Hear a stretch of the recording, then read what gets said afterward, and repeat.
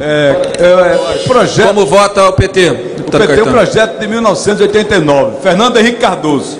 E agora Temer. É o encontro dos dois para fazer a maldade.